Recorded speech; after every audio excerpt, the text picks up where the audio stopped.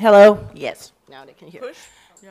No, don't. Hello? Yeah, just when the green button's on. Um, hel- hello, everyone. If you can all take your places, we can start a little earlier because we have an amazing panel and lots to talk about. So I don't want to waste another minute, and I want to leave lots of time for questions. So, um, welcome everyone um, to our panel on uh, the importance of investigating and reporting on war crimes. We have a great and amazing panel here. So I'll give a quick run through of introductions, and then we have a lovely video for you to watch. Very short, but very interesting. I'm very particularly excited about this panel because all of our uh, speakers here are very experienced. They all happen to be women, but that's incidental, but that also happens to be fairly rare for this type of thing because your typical war correspondent that we usually think about for a long time has been for a long time male. But these are very enormously experienced women. And I think that gives a particular uh, interesting layer uh, to their uh, reflections as well. So I'll just, without further ado, uh, jump into introductions. To my extreme right here in a lovely lilac jacket is Ida Sawyer. She is the director of our Crisis and Conflict Divisions at Human Rights Watch. That's the arm of Human Rights Watch that responds to global crisis from Ukraine to Syria to Yemen. And she was previously the organization's deputy Africa director. Janine Di Giovanni, on my left here, is the co-founder and executive director of the Reckoning Project, which partners journalists with lawyers to document war crimes in Ukraine. Now, Janine has worked for many, many years, over 35 years as a war correspondent, and also written many books. She has a much more extensive bio, but you can read about it in your own time. Indira Lakshmanan here is the global enterprise editor at the Associated Press. And before that, she worked in senior positions at National Geographic and the Pulitzer Center. And like Janine, she has reported from multiple countries. Again, long bio, you can read it in your own time. I'm Mei Fong. I am the uh, media director at uh, Human Rights Watch. Welcome, everyone. Um, before we start um, with our discussion, we have a very short video to show you, uh, which is all, which will give you a good idea about what we're going to be talking about. Do you want to take it away?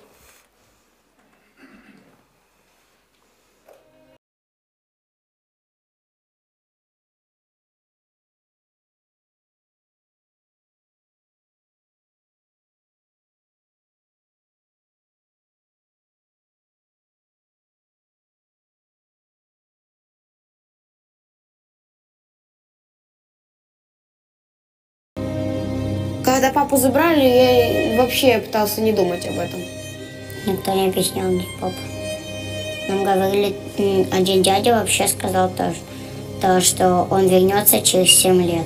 Они сначала спросили у меня, а, давай э, мы вас отправим а, троих в одну а, семью ненадолго, ну, на время, пока папа сможет нас забрать, или мы вас можем отвезти или э, в приют. Я сказал, я не дам ответа, пока с папой не свяжусь.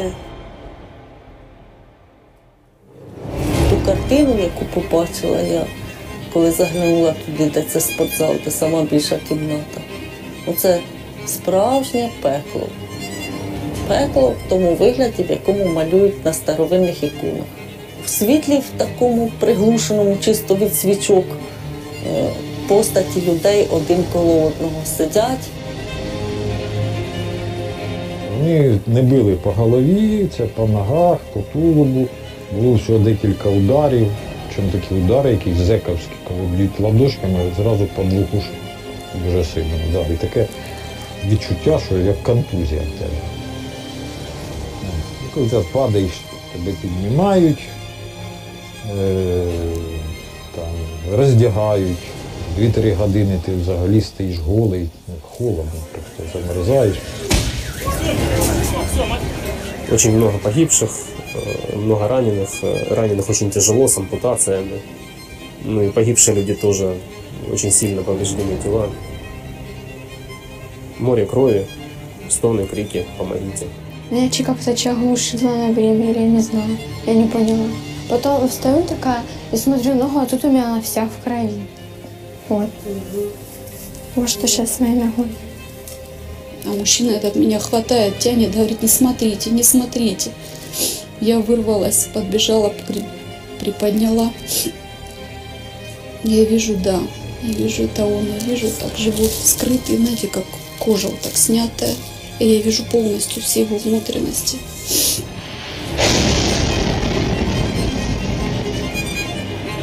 И он у меня спросил, как ваше здоровье. Естественно, я поняла, что это врач. Я ответила, что все у меня, все у меня хорошо. И он сказал, ну, если хорошо, то завтра будем снимать швы. Я даже не спросила, где те швы. Ну, это, только он сказал, что у нас нет обезболивающего. Вы, можете, вы будете терпеть? Я говорю, буду терпеть. Авиабомба упала вот за этим окном. Где я была, я не знаю. Но где-то была, что осталась жива. Это запуганные люди, они издевались так над ними, просто это, ну, зверски. Они были избиты до такой степени. Это стоит мужчина, ну, мужчина, но на нем нету живого. Это, это просто сплошная гематома. Рассказывали, что и уши ток пускали. Артобстрел. Роддом. Это была девочка, которая, ну, которой мы пытались оказать помощь. К большому сожалению, ребенок был уже мертв. Нам не удалось спасти ни мать, ни ребенка. Я не смог положить младенца э, в пакет ну, с женщиной. Это сделал мой коллега. Тяжело.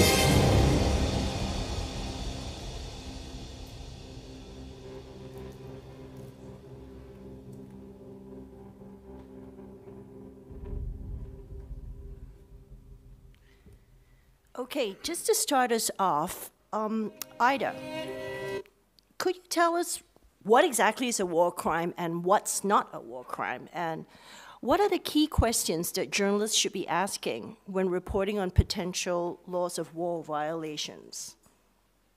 Great, thanks, Mei, and hi, everyone. It's great to be with you. So, what's a war crime? War crimes are defined as serious violations of international humanitarian law or the laws of war that are committed by individuals with criminal intent. So, the first test when looking at whether something's a war crime is to determine whether a particular incident violated the laws of war. And this is the body of international law that applies during armed conflicts to regulate how wars are fought. And this includes rules that minimize harm to civilians and civilian structures and to captured and injured soldiers and fighters. And the laws of war clearly prohibit deliberate attacks on civilians and civilian objects, attacks that can't discriminate or distinguish between combatants and civilians, and attacks that could be expected to cause disproportionate civilian harm compared to any concrete military advantage. So, for a violation of the laws of war to then be a war crime, we need to show that it was serious and that there was criminal intent. So that means was it deliberate, meaning the attack purposefully targeted civilians, or was it reckless, meaning that they could or should have known the risk to civilians but went ahead anyway? And in some cases, it can be fairly straightforward. So if you have members of an armed force willfully torturing, mistreating, killing civilians or captured combatants, or carrying out unlawful deportations or tra- forced transfers, that's likely a war crime. But it gets much more complicated when we're talking about bombing and shelling in civilian areas. There, it can be important to look at what weapon was used. Was it an inherently indiscriminate weapon that's banned under international law, like landmines, anti personnel landmines, or cluster munitions? And then what was hit? What was the target? Was it an apartment building, a school, a hospital, or a shopping mall? And all of these are generally civilian objects, meaning they don't usually serve a military purpose. But what if the military was using the school as a base? Or what if high level military officers happened to be meeting there? Or what if the apartment building that was hit was next to a weapons depot? So it's often more complicated than it seems, and it's really important to, to just really dig and investigate to try to understand the full picture before jumping to any conclusions. And even if a large number of civilians were killed in an attack, it's not necessarily a war crime. So, just an example from Ukraine last summer, there was an attack on a cultural center in Vinnytsia, really horrific attack, 23 people killed, including three children. But after we started investigating, it appeared that senior Ukrainian military officers were holding a meeting in the building at the time of the attack and may have been among the victims. So if this is true, then the building would have been a legitimate military target and therefore not necessarily unlawful or a war crime, despite the high civilian casualties.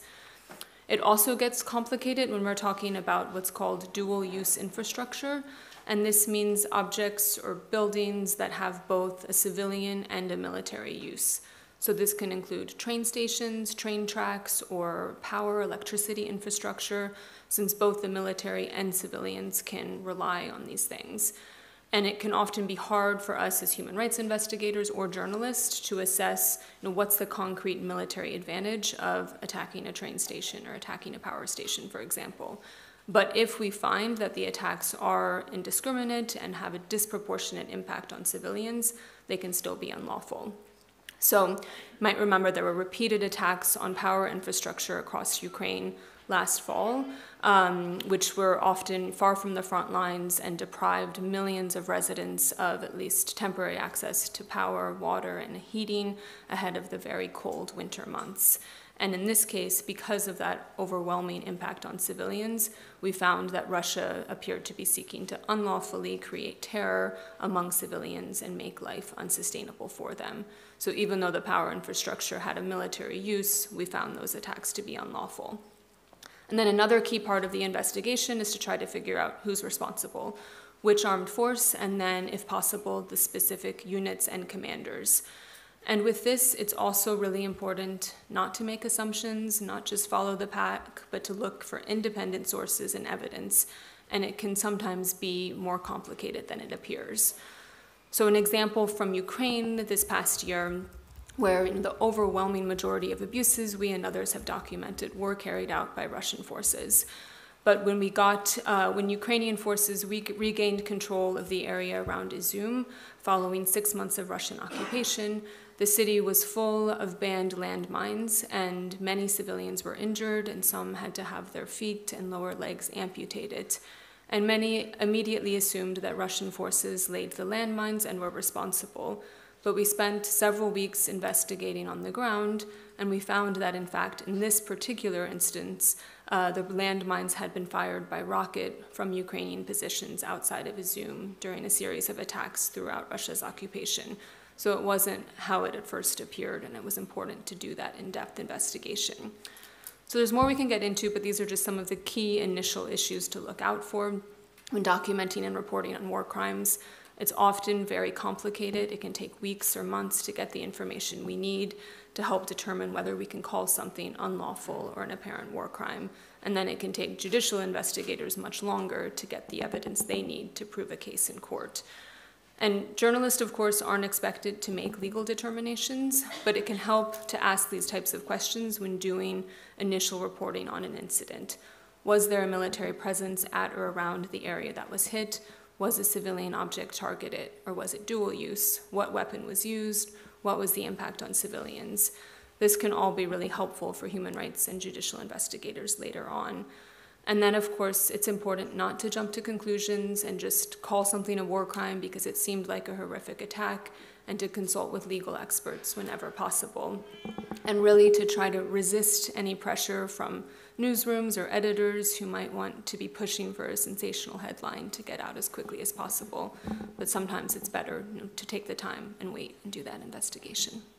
Thanks, Ida. So you've outlined some of the uh, pitfalls uh, that can happen when you're covering a war, and um, as a journalist, and you're looking for a strong story. But sometimes a strong story may not necessarily be a war crime story. So um, I'm going to turn this to Janine.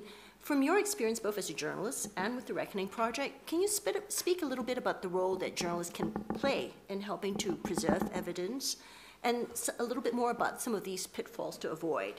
To ensure that you aren't unintentionally damaging evidence or re traumatizing victims. How do you adhere to this principle of do no harm as a journalist reporting on war crimes? Thanks, Mei. Um, is this on? Can you hear me? Okay. Hi, everyone. Uh, I'm Janine. I'm the executive director of the Reckoning Project. Thanks so much for coming out in your very busy day. So, I, I first want to go back to a point in time when many of you probably weren't even born, um, May 2000 to Freetown, Sierra Leone. I was working as a reporter there for the Times of London, um, and the city began to fall to rebel forces. Um, there were very few journalists there, and I, um, anyway, to make a long story short, the president, Ahmed Tejan Kabbah, fled because angry crowds were descending on his house. Well, as a journalist, I decided I was going to go into his house and steal his documents, which is what I did. I went in with a local guy, and we just saw that the president had fled, leaving extremely important documents linking the blood diamonds of Sierra Leone to uh, individuals who worked for the UN, governments, as well as a clear path going from Freetown to Antwerp to Hatton Gardens, London, the Diamond District, to New York.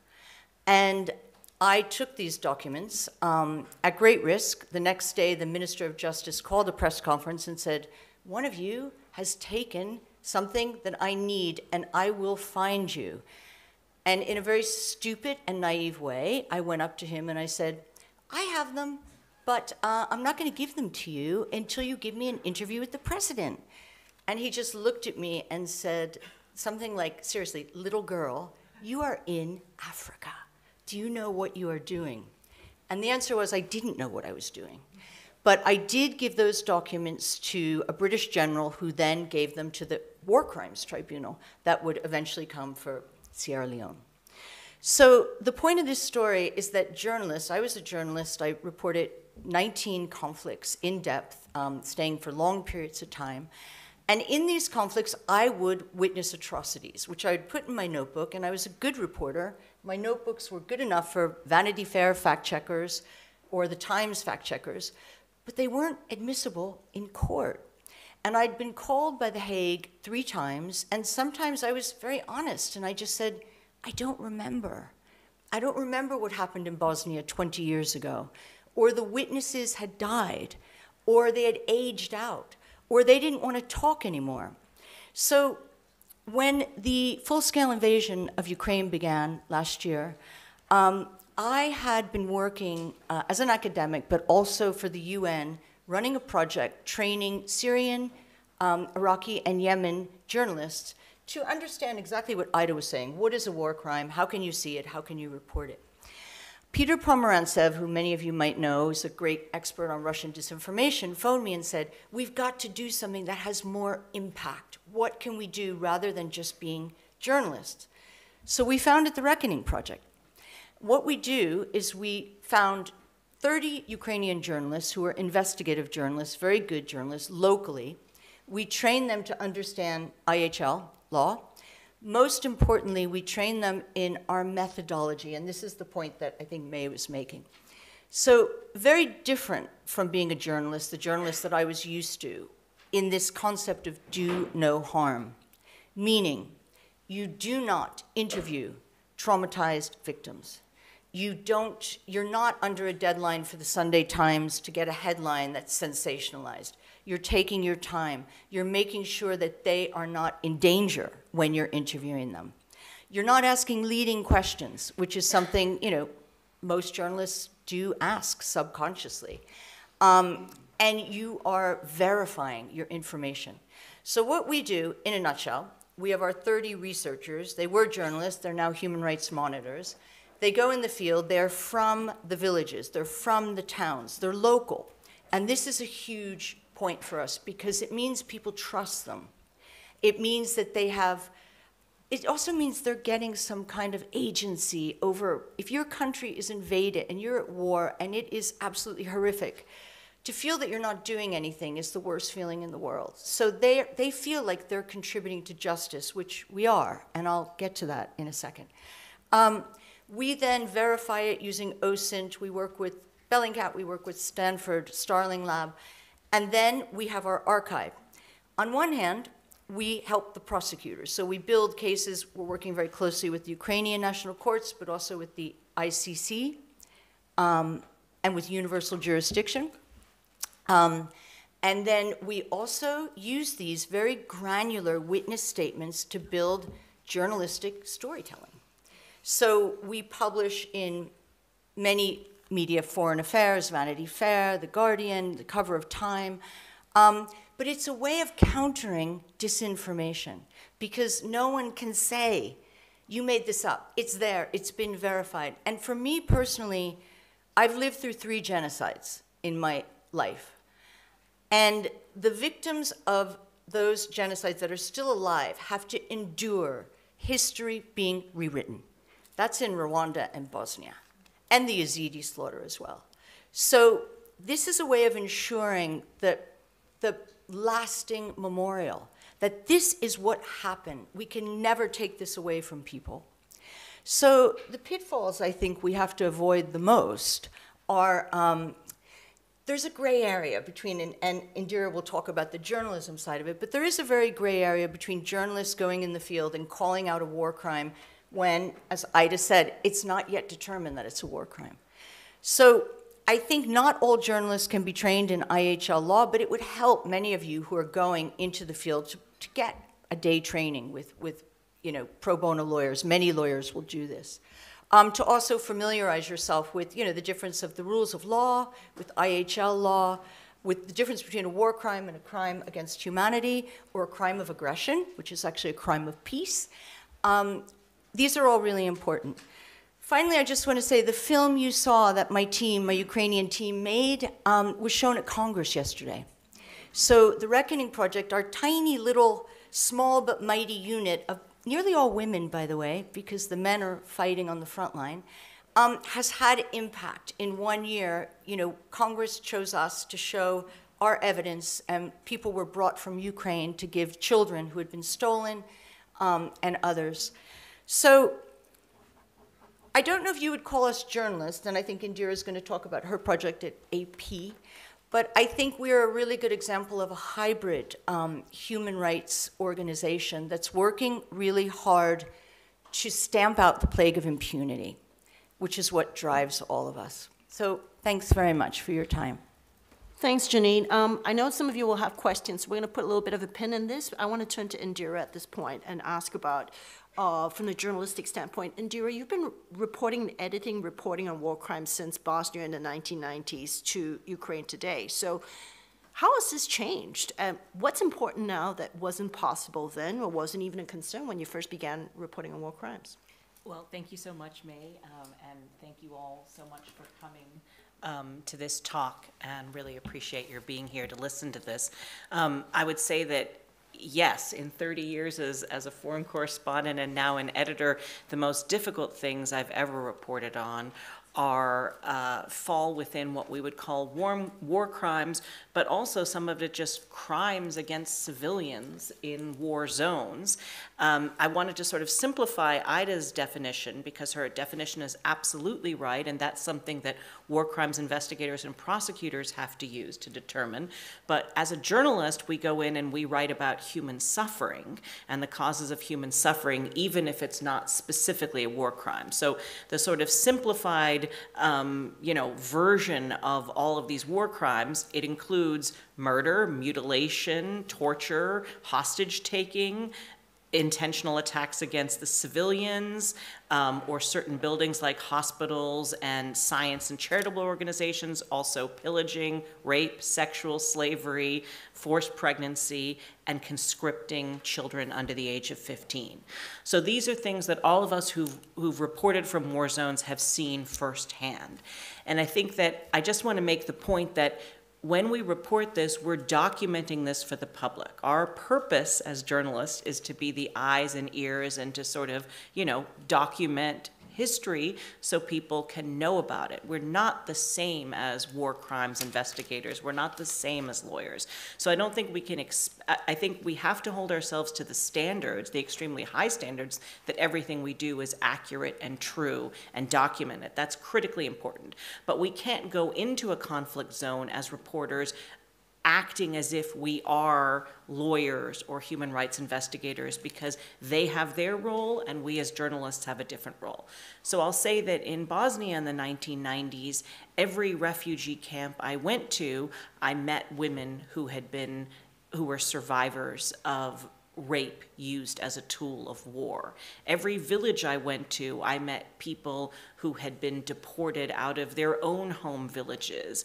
Uh, I remember one particular village where they were literally digging up their dead from the graves and putting them onto horse carts because they needed to take the dead bodies with them because they were being pushed across a border.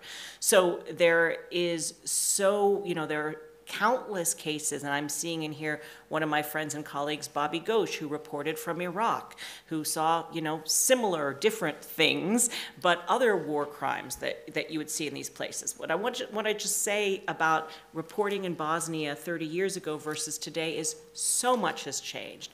Back then, we were, you know, with notebooks, writing things down, with cameras, taking pictures, very carefully documenting everything from the voices of people to jump forward some years to Afghanistan.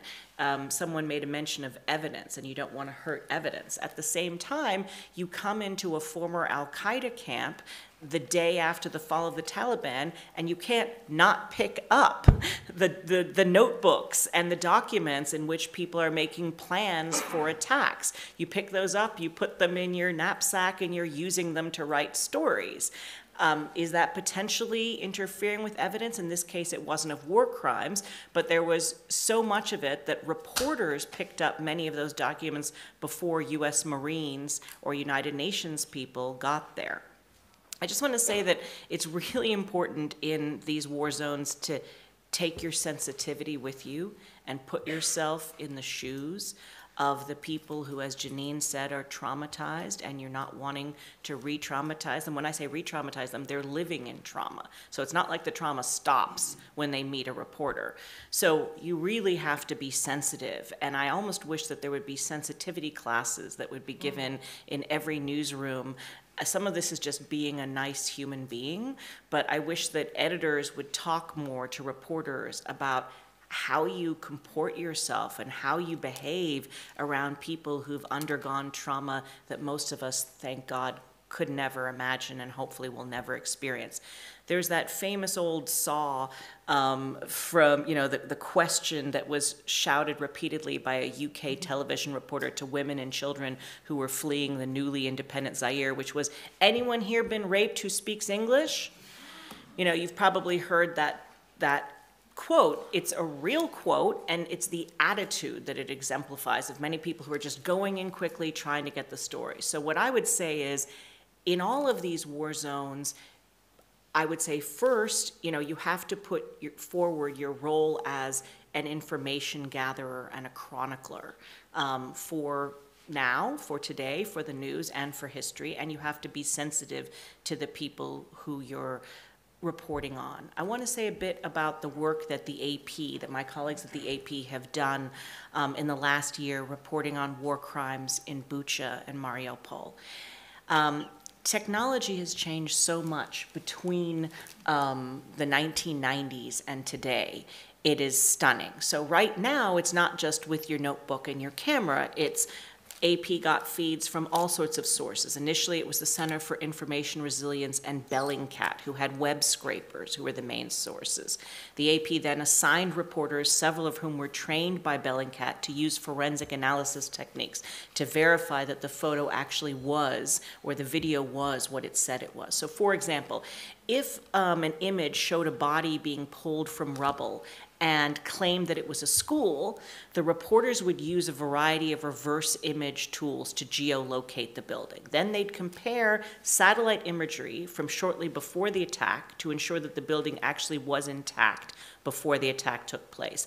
Then they would look at the school's website and get details of who might have been there to try to track victims that way. Then they would contact school or city officials and they'd get AP reporters to verify on the ground what happened. Of course, we had scores of reporters who were on the ground. Um, another important element was that the AP team had several sessions with war crimes prosecutors who gave tutorials on the Rome Statute and the Geneva Conventions. This goes to what Janine was saying about getting training on the law. And reporters checked with them when they weren't certain whether a, whether a specific attack would constitute a violation or a war crime or not. Um, the result of this, I think, is incredible work that um, you may have seen the Frontline video, the PBS Frontline video that was done together. It was an AP Frontline collaboration that has a long entire page about the methodology that was used, and I think that's incredibly important that you should put out there what your methodology is. This is one place where transparency is critical because when you're going to have actors of disinformation or questioners or the Russian government saying this is all just fake stuff that the AP is putting up, you can point to the methodology and say, no, in fact, here's the evidence, here's how we tracked it, here's how we traced it. Cell phones were really critical and have been critical in this war in a way that, again, was impossible in Bosnia 30 years ago ordinary people were documenting what was happening in real time and they were posting it onto Telegram, Twitter, Facebook, VK, which is a Russian social media network, and other places. So I just want to say that, of course, we're not investigators, we're not a court of law. For a court of law, investigators would presumably have to find the people who took the original photos and get them to attest to what they saw. But our role, again, is different. Our role is journalism. Um, I, I do think that it's it, it. There's also the point that what AP was tracking were evidence by each event and by each attack. And in that case, each attack or event can spawn multiple criminal charges. So, for example, the March 16th airstrike last year on the theater in Mariupol, we listed as a single event, but it could actually, in the end, spawn hundreds of war crimes charges because an estimated 600 people were killed. So the numbers aren't going to exactly line up with the numbers that you hear cited by Ukrainian or international war crimes prosecutors, um, but there, that's the reason for that, and we explain that and make that, um, you know, very transparent. Um, I want to just make one point, which I think is interesting, that war crimes investigators do collaborate with journalists, but they also have their limits to how they can collaborate. So um, the, the woman who is the Ukrainian human rights lawyer, who was one of the co-winners of the Nobel Peace Prize last year, she met in Washington with the, our global head of investigations before she got the Nobel Prize. And our team was trying to ask her to share some of her witness um, testimonials. I'm, I'm, referring to Alexandra Matviichuk. Um, our team said, sorry? Sasha Matviichuk. No, that. Her name's Alexandra, but we call her Sasha. Okay. Yeah. Um, so um, sh- she was asked to share her witness testimonials with us. And very interestingly, she said, Well, I can share some things with you, but we've also offered witness confidentiality. And so she, in her role, could not share everything with the media because she had promised confidentiality to her witnesses. So that's a really important point that we're in different lanes and it's proper and appropriate for us to operate in different lanes um, for what we do.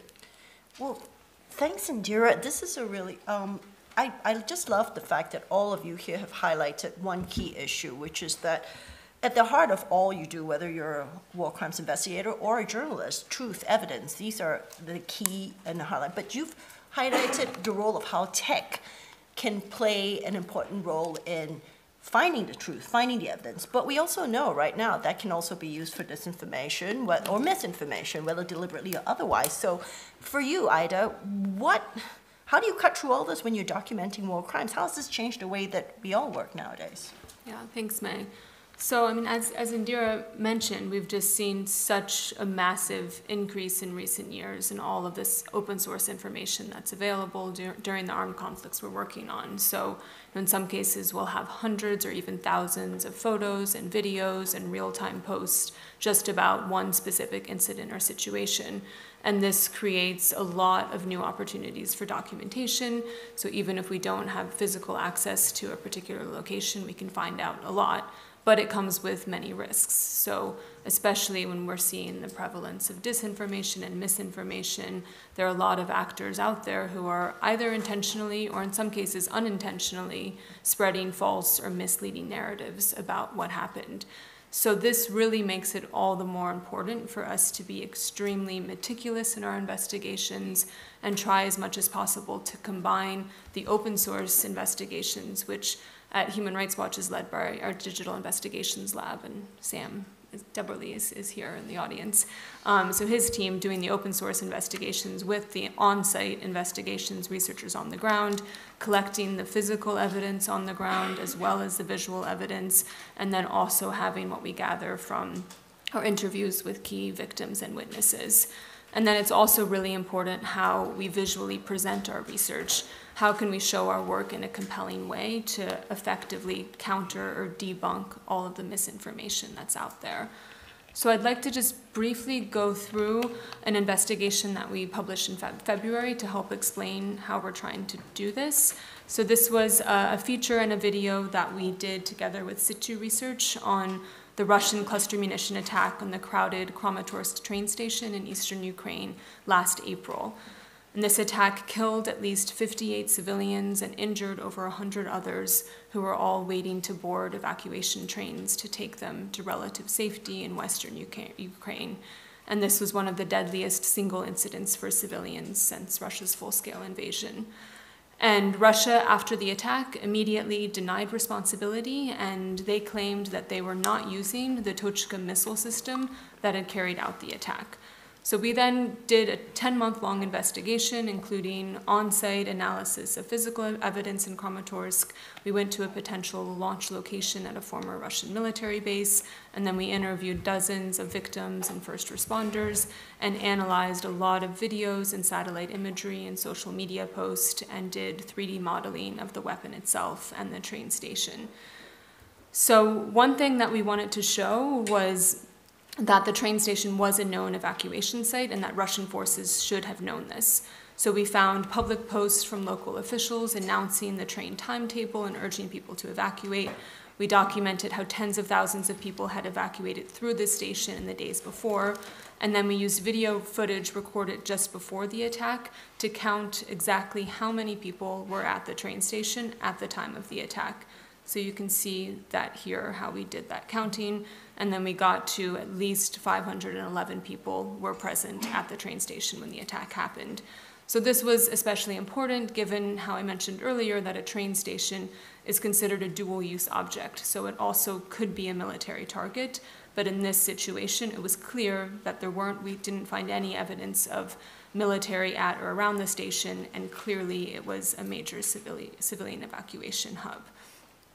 So we also felt it was really important for this report to, um, to identify the weapon and demonstrate, sorry, just trying to move to the next slide, um, to identify the weapon and demonstrate exactly how it works and why it's unlawful in a way that anyone could understand. So we made this model there. Um, so we made the model of the, the weapon that was used. It was a Tochka U ballistic missile equipped with a cluster munition warhead. Um, and this cluster munition exploded over the train station into and released 50 bomblets, which you can see here. And then they all spread in a wide area around the train station uh, and on the tracks in the surrounding area. And then each of those bomblets uh, shattered into a total of nearly 16,000 metal fragments. And many of these fragments are then what ended up in the bodies of the men, women, and children who were waiting at the train station, tearing off their limbs and causing fatal wounds for many of them. So, our researchers on the ground, we had identified 32 of these submunition impact sites. So, this is a model of just one of those sites, and you can see how one submunition then shatters into all of these different metal fragments that spread around the area. Um, and then we were able to correlate um, the locations of the submunition impact sites with the specific locations where people uh, died and were injured on the at the train station and on the platform. But then our big challenge for several months was figuring out where exactly the weapon was launched from and getting conclusive evidence that would allow us to say confidently that Russian forces were responsible and that they were using this Tochka missile system, which they had denied. Um, so, after a lot of research, we eventually found satellite imagery of what appeared to be a Tochka missile container, uh, or Tochka missile containers and uh, remnants of the vehicles in a village called Kunie. Um, and this slide isn't playing, but it's that area in the dark area at the top there. Um, and that's just north of Izium, and Russian military forces had a major base there at the time of the attack. And after we found the satellite imagery from last April, we were then able to go to the village, which was by then under Ukrainian control, and our team found remnants of the Tochka missile launch vehicle and the storage containers, and we interviewed residents who described repeated major launches happening from this area during the time of the attack in April. So that allowed us to pretty definitively say that Russian forces did have the Tochka missile system in Russian-controlled territory within the missile's firing range of Kramatorsk around the time of the attack. So we then put this all together into a feature and a longer video with, and we're able to make the conclusion that the attack, which used an inherently indiscriminate weapon, cluster munition, in a well-known evacuation hub, was a clear violation of the laws of war and an apparent war crime. And then we've used this to call for Russian commanders responsible for ordering the attack to be investigated and brought to justice. And we're also pushing for both Russia and Ukraine to join the Convention on Cluster Munitions, which bans this weapon. Okay, I'm going to leave a little room for questions at the end here because I know you have a lot. But before we do that, just one last one that I'm going to take a prerogative as the uh, moderator here to ask one, which I know that a lot of people think about. You can see from all our speakers here how arduous the work is, how long it takes, how meticulous you have to be. And I think the big question in a lot of, I think, the general public's mind is, and so what question, which is why does this matter? We know that documenting war crimes and bringing eventual war criminals to justice is a long and hard road. Sometimes it almost, you, it's, it, sometimes it never happens. You don't see these people in court or brought to justice in some way. So the answer what question that I'm going to just quickly flip to all of you, starting with Janine and um, Indira and um, Ida, is why does this matter? So very quickly, and then we'll have questions from you. So the importance of this is really goes back to people, to individuals. Um, in Bosnia, I was in Bosnia for three years during the siege of Sarajevo, but I worked a lot on systematic rape. Now, 16,000 women were raped in the rape camps of Foča and other places in eastern Bosnia. A handful, a handful of men were brought to the ICTY. So justice was never really delivered. In Rwanda, one million people were slaughtered in three months in 1994. One million people. And I remember standing by the side of the road and looking down as far as I could see the piles and piles and piles of bodies. But I could give this from any of the countries Iraq, Afghanistan, Congo, um, the people that never see justice. So it's this, it's justice that drives me and I think drives my colleagues. It's not getting a scoop in a newspaper, it's not winning an award. It's about the people who endure this and need to feel that they're getting some kind of justice, or what you have is the cycle of violence repeating itself in 20 or 30 years' time. Bosnia today, because there was no transitional justice, is on the verge of another conflict, sectarian conflict. And of course, Putin is stirring that one up.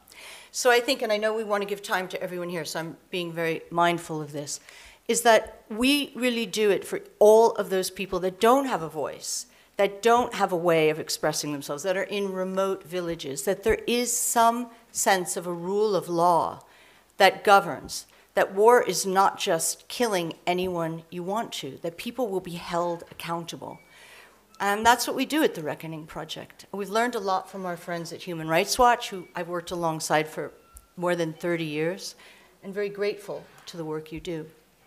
Thanks. Okay, thanks, Janine. Indira? Um, yes, I would say absolutely it's about accountability.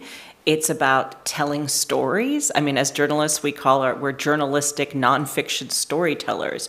We have to be the voice for the voiceless. It's cliche, but that's what we do. So it's not even people just in remote villages, it's people everywhere who don't have the opportunity to tell their story. We have to be there to document it, to make sure it's accurate, to make sure it's documented for history, and also, hopefully, for transitional justice and accountability and prevention in the future. Yeah. And that goes, you know, that's from Cambodia to Bosnia to, you know, all the way. Rwanda, I mean, we need accountability and we haven't seen it. I, I, I actually wanted to ask Ida about Sudan and what's happening right now and the documentation of those war crimes in real time. Yeah, thanks. So I'll just quickly give an example from Congo, where I lived for about nine years, and I spent much of that time documenting abuses by a warlord named Bosco Ntaganda, whose troops were responsible for ethnic massacres, mass rapes, recruitment of children, targeted killing of civilians, as he moved from one armed group to another and was even a general in the army. The International Criminal Court eventually issued an arrest warrant for him, but he remained at large for many years. He was backed by neighboring Rwanda. Many believed he was untouchable. I was told again and again by diplomats and UN officials that he would never face justice for waste, wasting our time. But we kept up the pressure. We kept documenting his crimes. We kept documenting the support he was getting from Rwanda. And eventually, this led Rwanda's Western allies to put pressure on Rwanda to drop their, drop their support for Bosco. And he surrendered and was sent to The Hague. Eventually, he was convicted, sentenced for, to 30 years in, for war crimes and crimes against humanity. So I think this shows that justice can take time, but with continued documentation, pressure, and persistence, we can eventually see results and show that there are real consequences for these crimes and ensure that victims do eventually see justice. But it also shows the price of waiting and that the longer impunity prevails, the more crimes we're likely to see. And that is sadly blatantly evident today in Sudan, where the failure to hold the generals responsible for their past crimes directly led to the conflict and immense suffering that we've been seeing over the past week. Okay, now we're going to open up to questions. I'm just going to ask everybody to speak loudly um, and um, and uh, keep it short. No soapboxing. Okay, you first.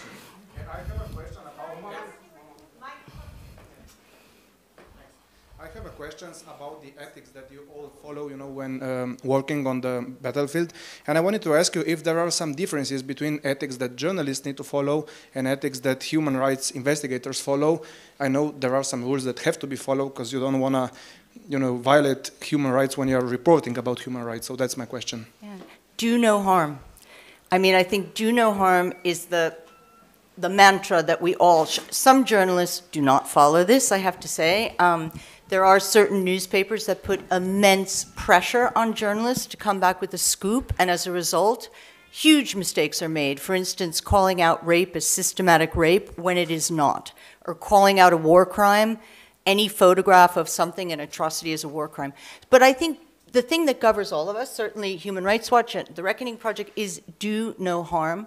And we try to be, the main thing is not re traumatizing victims who are already deeply traumatized. And there's a whole series of methodology that we use that I'm we could share with you another time. I know I see um, Mei's getting impatient with it. Do no harm governs obviously the Associated Press, and I would say most mainstream established media.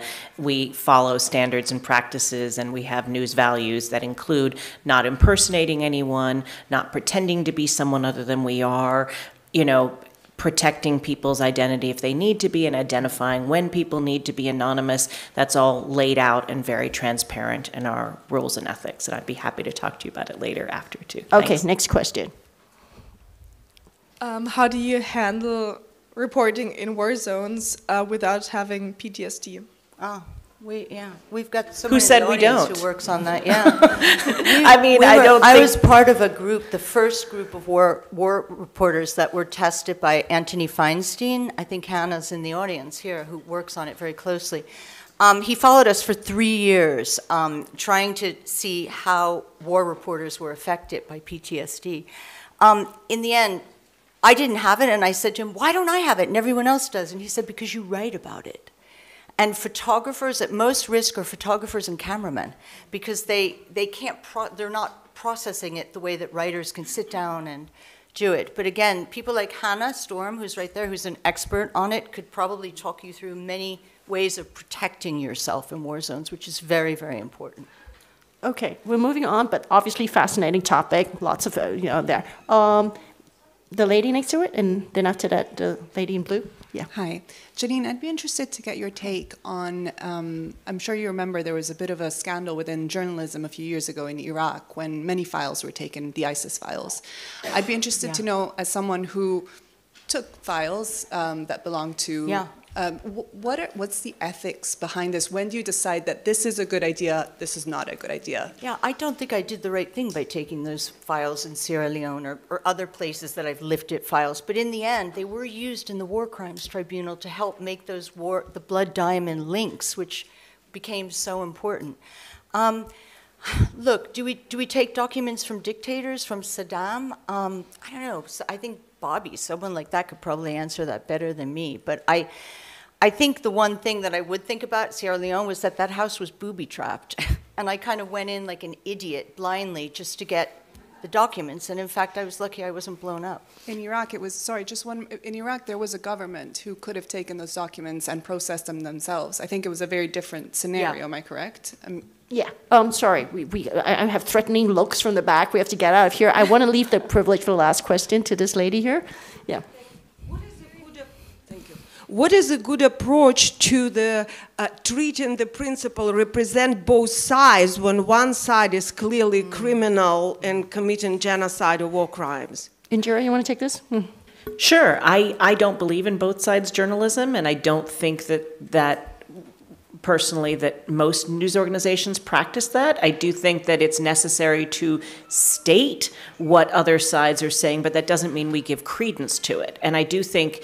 Um, you know, to me, it's very important to be very careful in your reporting to say, you know, XDX said this, however, the evidence shows blankety blank blank. You know, so if you're laying out that these war crimes occurred, you give all the evidence you did, and then you can say, and Russia denied it. But just denying it doesn't fight all of the evidence that you have documented from people on the ground. Okay, we have to clear the room. Obviously, we could spend ages talking about this, but thank you all.